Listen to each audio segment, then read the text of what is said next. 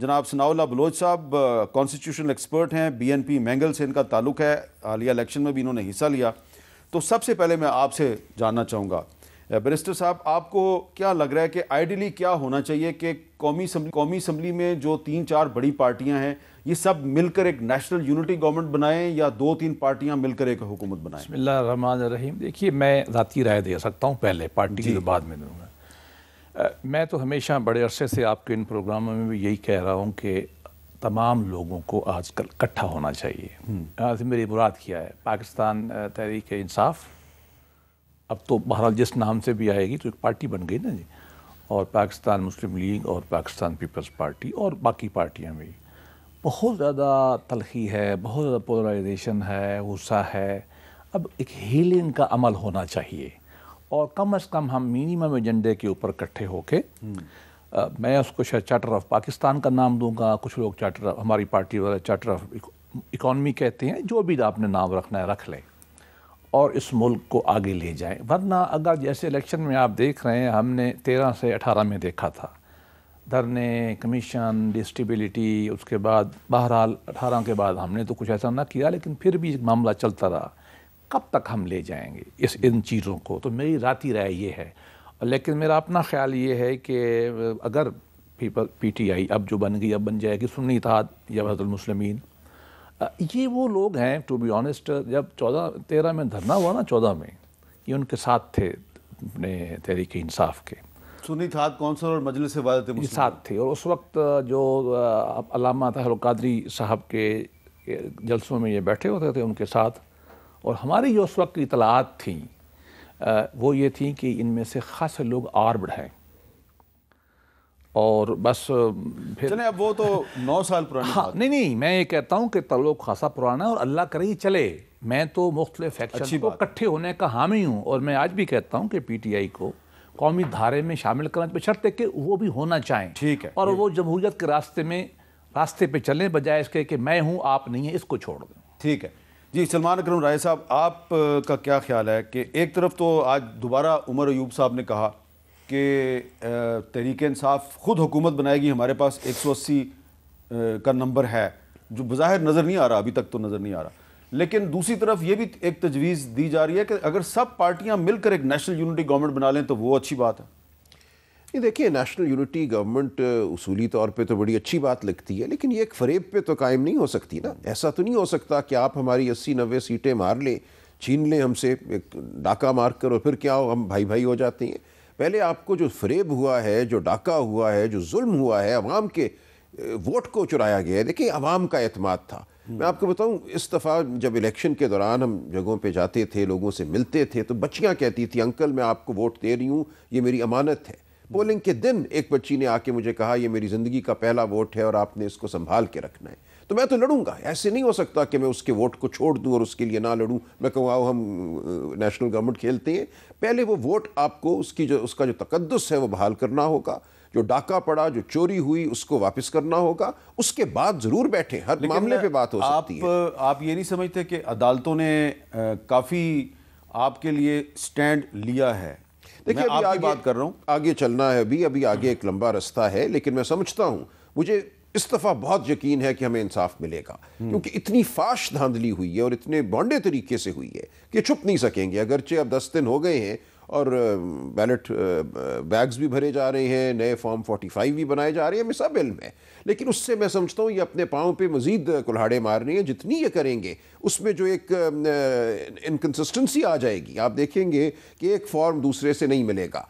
और ये खुद अपने इस फरेब में आके इनका जो फरेब है वो ज़ाहिर हो जाएगा। अच्छा सनाउल्ला बलोच साहब पहले आप लोग बलोचिस्तान के दूर दराज इलाकों में बैठ के शोर मचाया करते थे, हमारे साथ धांधली होगी, बड़ा जुल्म होगा, बड़ी ज़्यादती होगी।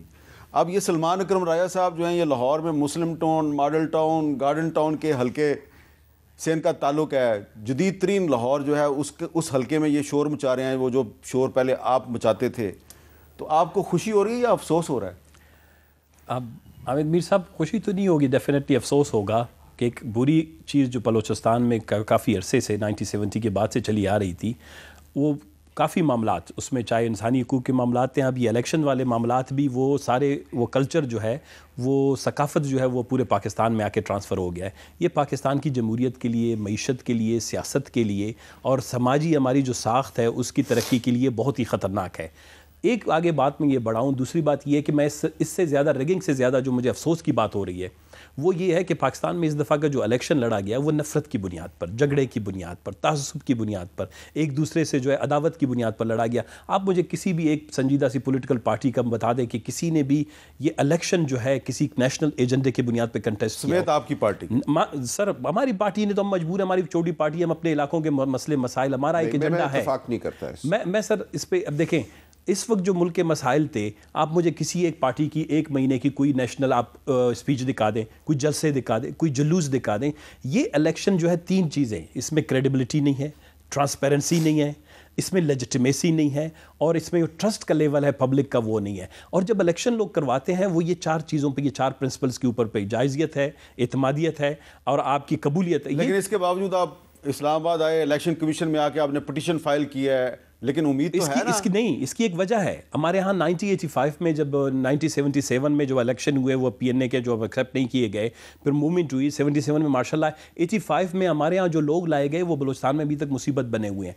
इस इलेक्शन के बाद दोबारा इस तरह के डमी कैरेक्टर्स बलूचिस्तान में लाने की कोशिश की जा रही है। जो बलूचिस्तान की जो रही सही इस वक्त की सूरत हाल है उसको भी तबाही के दाने पर ले जाएगा। इंसानी हकूक के मामला बिगड़ जाएँगे। अच्छा आपकी बात से इतफाक नहीं कर रहे। करूँ जो मेरी पहली इलेक्शन मीटिंग हुई ना इस कैंपेन के बिल्कुल शुरू में।